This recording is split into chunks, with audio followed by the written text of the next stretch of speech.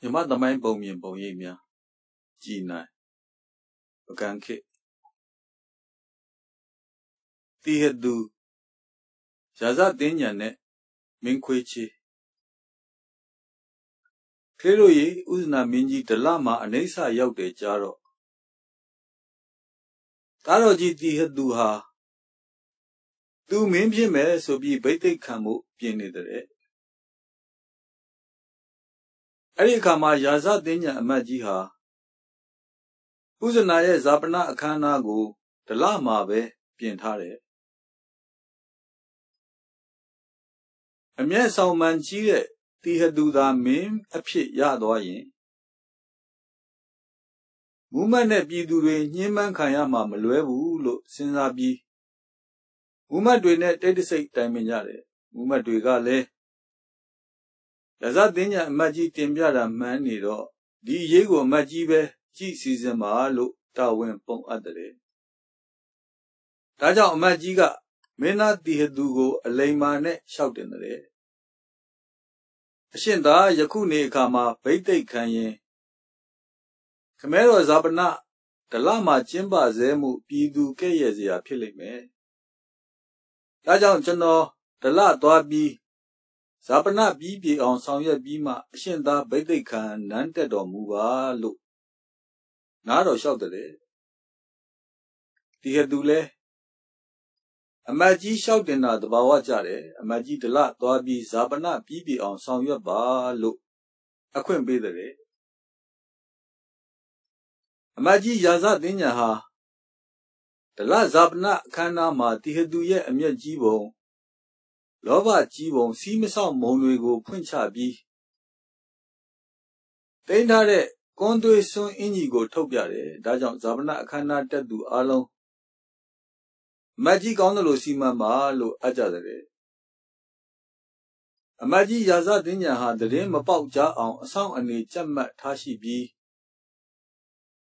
မင်းသားခွေးချေးကိုနန်းတင်မှုစီစဉ်တော့တယ်နေပြည်တော်ပြန်ရောက်မှာ ကြိုတင်စီစဉ်ထားတဲ့အတိုင်းရဲမက်တွေနဲ့တည်သူကိုဖမ်းပြီး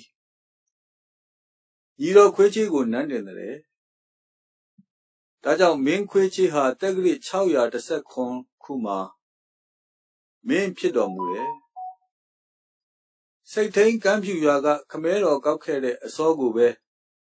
မိဖုရားမြောက်တယ်မိဖုရားဖွားစောလို့အမည်တွင်တယ်။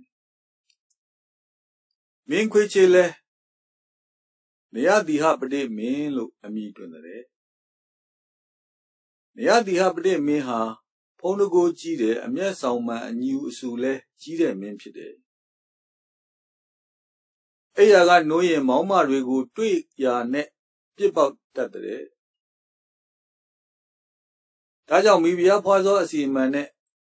မင်းကြီးအဲ့ရာအနီးမှာလုံမဏီသီးကိုထားစေတဲ့မင်းကြီးအဲ့ရကနိုးလို့ မောင်မတယောက်ကို လုံမဏီသီးနဲ့ကောက်ပေါက်တာခါရမ်းသွားလို့ခရမ်းနီလို့တွင်သွားတဲ့မင်းကြီးဟာဟင်းခွက်300ပြည့်မှပွဲတော်တဲ့တဲ့နေရတိဟပရိမင်းဟာထီးနှံရပြီးမင်းအဖြစ်ကိုရောက်တော့အတော့စားအပျော်အပါးနဲ့သာအချိန်ကုန်ပြီးနန်းတင်ပေးတဲ့အမတ်ကြီးရာဇတင်းညံကိုမေ့လျော့နေတဲ့ ဒါကြောင့်တခုသောညီလာခံမှာရသပညာအမတ်ကြီးဟာကွန်ကလတ်အပဲ့ယူပြီးခစားလေတဲ့အဲ့ဒါမင်းကြီးမြင်သွားတော့အဖို့အဘဲကြောင့်ကွန်ကလတ်အပဲ့နဲ့ကွန်စားသည်လို့မေးတဲ့ဒီကအမတ်ကြီးလည်းခံမြင်တာကြောင့်မင်းကြီးပန်းပုတ်တဲ့မြေတို့ကောင်းစားနေတာကြောင့်ပန်းပုတ်မိသူမရှိတာကြောင့် အပဲ့နဲ့ပဲကွန်းစားနေရပါတယ်လို့ဖြေတဲ့ဒီခါနေရတိဟပတိဟာသူ့အမျိုးကို ထိခိုက်လို့နှလုံးထောင်တာနဲ့အဖိုးဂုထုကိုတင့်တယ်အောင်ဘယ်သို့ပြုသနည်းလို့မေးတယ်မင်းကြီးထီးတင်မှဂုထုတင့်တယ်တယ်လို့အမတ်ကြီးပြန်လျှောက်တယ် အဖို့ဂုထုထီးတင်ရန်ဘယ်သို့ပြုရသနည်းမင်းကြီးထီးတင်ရန်ညမ်းစင်ရပါတယ်အဖိုးညမ်းစင်ထီးတင်ပြီးရင်ညမ်းကိုဘယ်သို့ပြုသနည်းမင်းကြီးဂုထုထီးတင်ပြီးရင်ညမ်းကိုဖျက်ရပါတယ်အဖိုးငါကထီးနဲ့တူလို့မင်းဖြစ်ပြီးညမ်းနဲ့တူတဲ့အဖိုးကိုလည်းဖျက်အံ့ဒါကြောင့် ဒလကိုကြွပြီတော့လို့ဆိုပြီးအဆောင်အယောင်တွေရုပ်သိမ်းပြီးဒလကိုပို့တော်မူတယ်ရာဇသင်းညာအမတ်ကြီးကိုဒလပို့တယ်ကြားတဲ့အခါမြစ္ဆဂီရိဇာလဲပုံကန်တဲ့မௌဒမဇာလဲတောင်းညံလေးတဲ့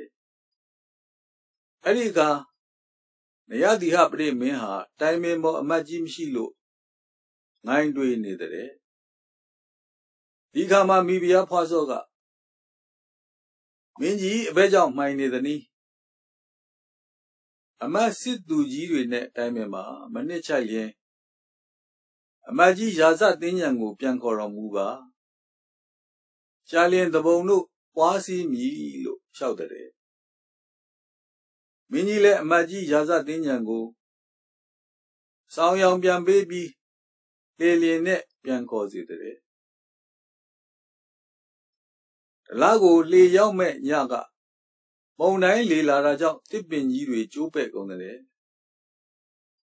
ပန်းများပင်တို့ကမလဲပဲရှိလေတယ်။အဲ့ဒီအဖြစ်ကိုမြင်တဲ့အခါငါက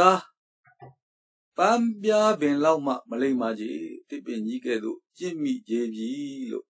မိတမ်းတယ်။လေလင်အမတ်ကြီးထံရောက်တဲ့အခါရောက်လာသူအမတ်က ရဇသင်ညာအမတ်ကြီးကိုမူလအဝတ်အဆောင်အယောင်ပေးပြီးမင်းကြီးပြန်ခေါ်ကြောင်းအကျိုးအကြောင်းတင်လျှောက်လေတဲ့အမတ်ကြီးလေနှင့်ပြန်လာတငါလေတစ်ခုမှမြရောက်ကိုမြင်မိတဲ့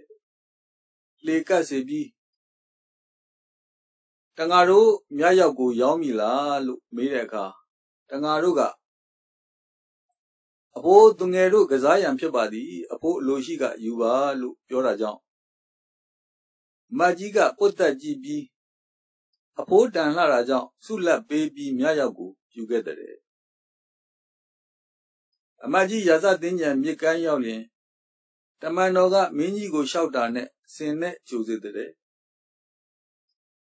အမကြီးလည်းရောက်တဲ့အခါမင်းကြီးကိုမြရောက်ဆက်တဲ့မေးတဲ့အခါ မင်းကြီးရဲ့ဖုံးတော်ကြောင့်ရကြည်သည်လို့လျှောက်တဲ့မင်းကြီးကလည်းအဖိုးသူပွေတို့ချောစားဂုံးတိုက်လို့သာမျက်မိတယ်ဆိုကစင်မြင့်ထီးဆလွယ်ကြေးကြုံကစမူလအတိုင်းပြန်ပေးတဲ့အသစ်စားကြီးမြို့ရလဲပေးတယ်မကြီးရာဇသင်းညံရောက်ပြီး စစ်သူကြီးတွေကိုကြက်မှတ်ကုတ်ကဲကပုံစားသူတွေကိုနှိမ်နှင်းဖို့စစ်ချီစေတဲ့